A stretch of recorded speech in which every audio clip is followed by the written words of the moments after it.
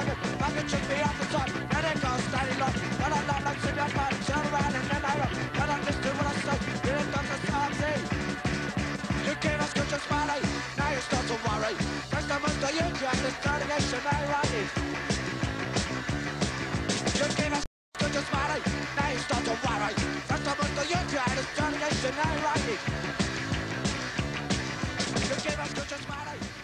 Aye, future school leavers and present un, aye.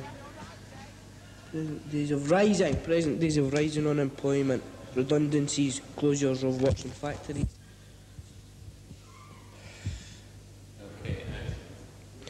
Start aye.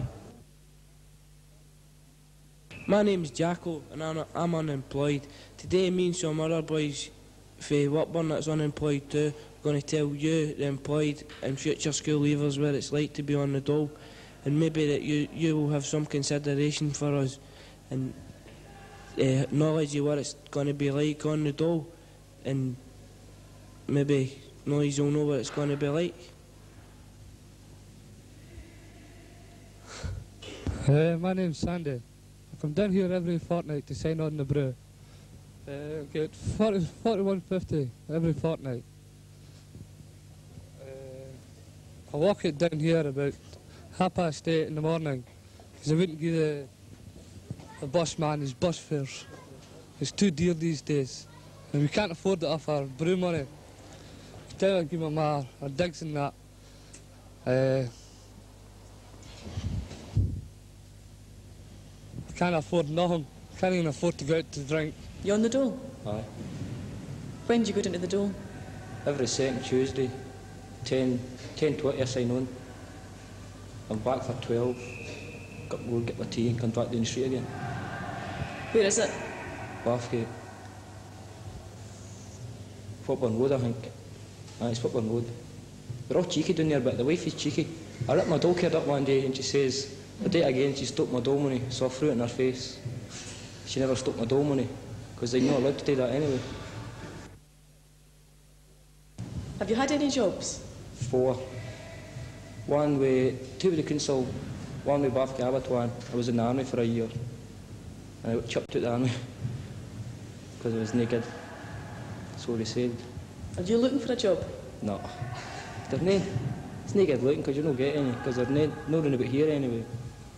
Well, just say that a new factory opened up. I mean, would you apply for a job or are you quite happy being in the dole? Happy where am I?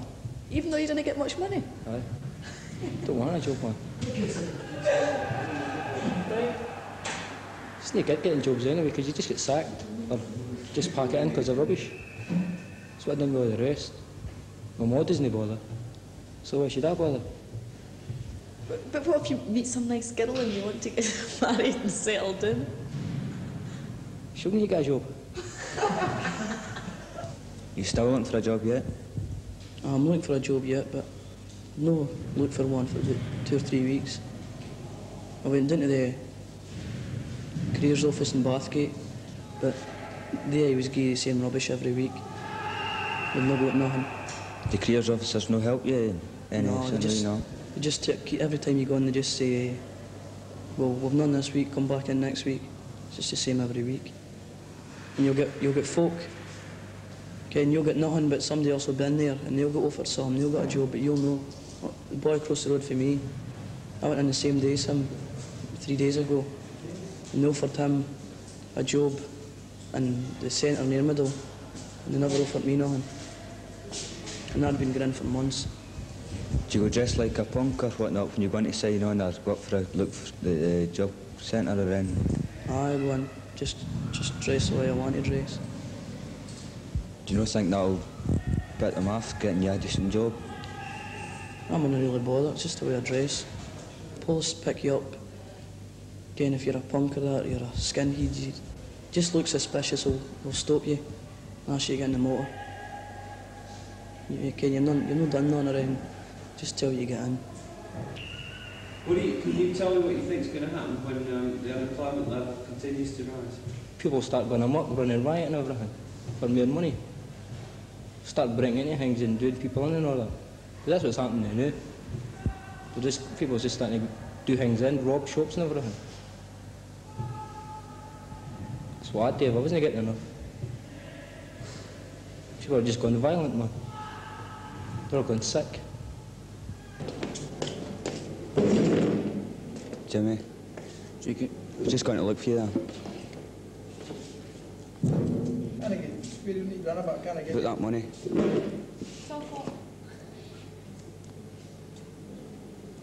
Give you it this week? Orange no wheel.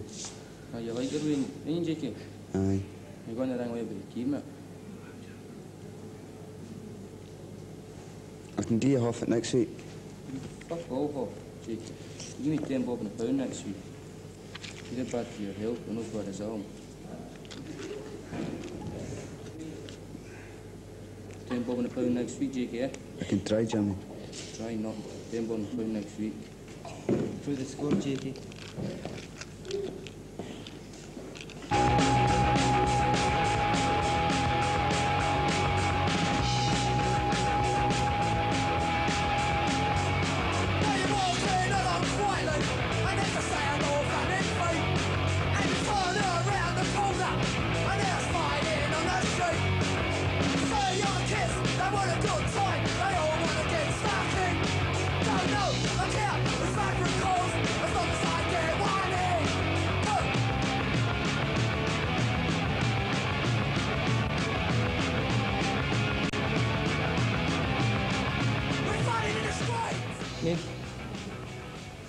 No hope at all. Because they're just going to be like us, man. Layabouts with no jobs or nothing. Nobody respects you if you're on the dole. Just think we're lazy. No good. Hi, this is Jacko again. We're off to, we're leaving the centre now and we're off to uh, Craigmillar Park and we're going to interview some people for Edinburgh and see where it's like being on the dole there, if it's the same situation. I believe!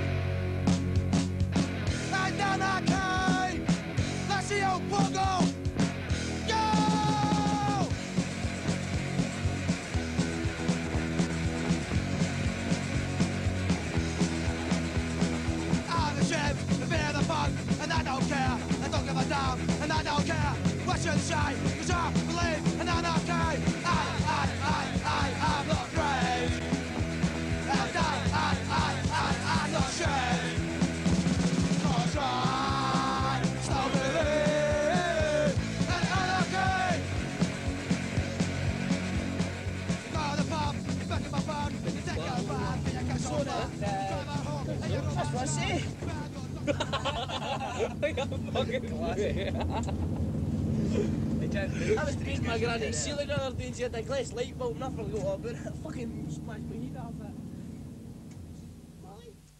Um, my name's Muriel Wilkinson. I'm Deputy Organising Secretary and tre- Treasurer of Craigmillar Festival Society. My main responsibility is, in fact, for the children and youth workshops and education workshop. Um, because you're specifically interested in the arts, um, I'm only sort of remotely um, involved in the arts side. But um, on the Gulliver sculpture, the idea was first mooted roughly about four to five years ago. Mrs. Crummy, our secretary, had visited Glenrothes and seen all the sculptures there and brought the idea back of our community, in fact, doing some sculptures. Um, as often happens, there were many people around at that point. We had Neil Cameron from the Theatre Workshop who just joined us, Miss Beth Shader, there was her own arts workshop. And the idea of having community sculptures, um, everyone really got enthusiastic about it. Um, at the same time, Jimmy Boyle's book was out, and a group from here actually visited him in Barlinnie uh, special unit. Um, Jimmy also became excited about the idea of a sculpture and um, put forward the idea of like say Gulliver, and that he would be interested in, in designing it. Um, if, in fact, he did design it, although the ultimate um, finished article is slightly different. Anyway, we put forward a job creation project for Gulliver, and the team uh, that joined us at first. It was just a job. But as Gulliver started to take shape, it became more than just a job. The kids themselves quickly cottoned on to what was being built and really adopted the men and Gulliver. Um, they also helped to design it to the extent of um, saying why not put in his ears because his hair in fact covered um, his ears. Um, to this day Gulliver is well used by all the kids up in the Niddrie House, Niddrie Marischal area.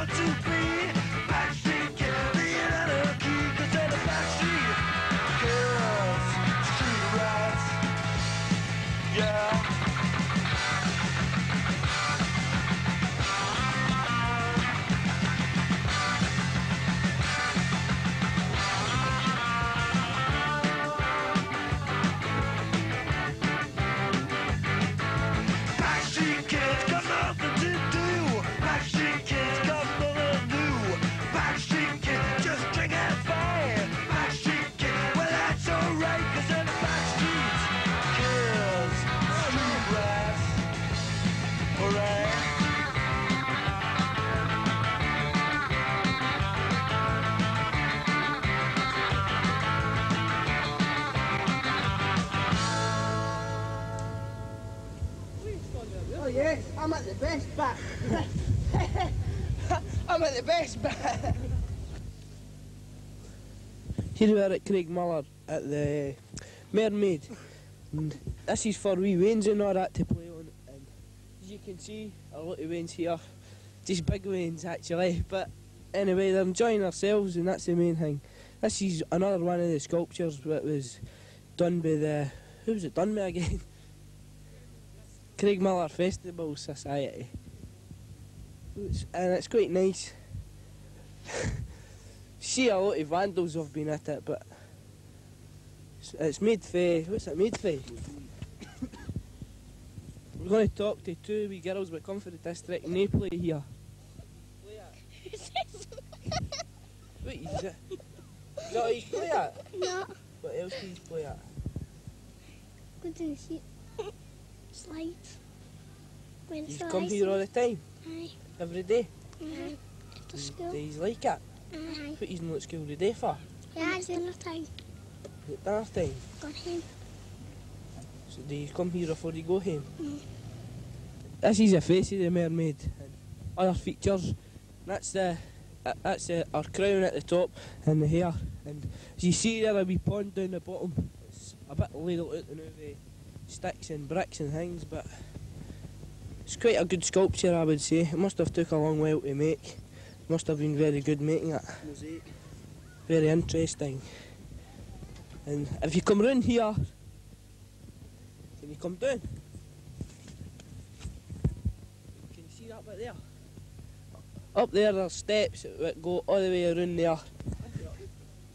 Round the, behind the mermaid's head there's various stairs and things but it shoots slides but you can slide up and down and that. And up the top of the crown is a wee wee kind of seat hang up there where you see big zombie up it enjoying himself as usual. Have you have you sniffed the glue up there yet, sir? No, I've just been on a little bit buck fast up here and all that, you know, and I'm a wee bit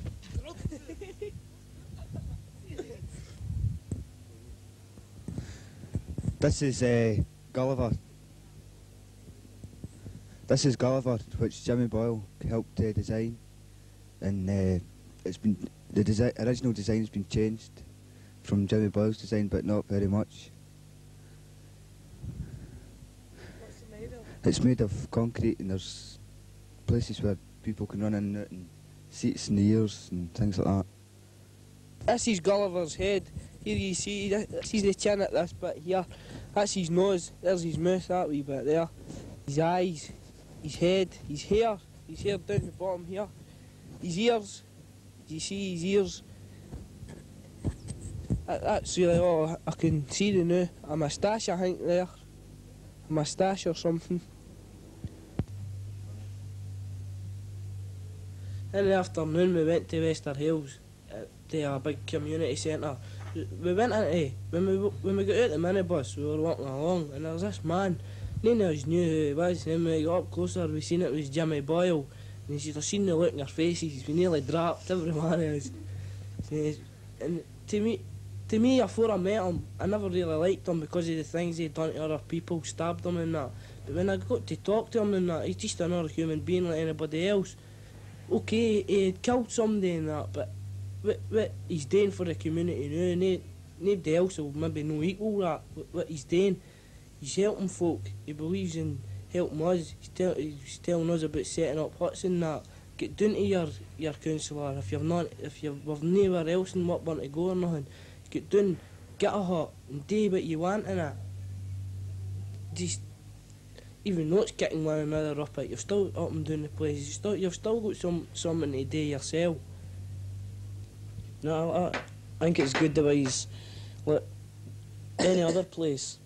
They were when they says uh, can the punks come down here, they kind of didn't want to know about it, but he was trying to kind do, do something for the folk that nobody else wanted to do anything for, and I think it's good the way he done that, and he's trying to organise that thing in April about uh, all the wee bands and that, try to get them all together. For like a show thing, and uh, the way he's building these huts for folk, and he's getting folk unemployed a job to put these huts up, and then once they are up, it's when they've nothing else to do, they can go there at night and that, and through the day. I like to see getting like always getting involved in one thing, building something. I don't, I don't care what it is as long as it's something that is just like a job. To something to do, something that we can't get involved in trouble, can't fight with one another, we can't have arguments. Well, suppose we could have arguments, but no whacking one another with bottles and all that. That's the kind of thing, I get too depressed. You, you didn't want to listen to reason, you just want to battle. But if you've got something like that today, to put in, let's paint something, or make some, make tables, make make a hut, build a sculpture or build something, anything like that. Just just get something like that into this into this tune gives you a break.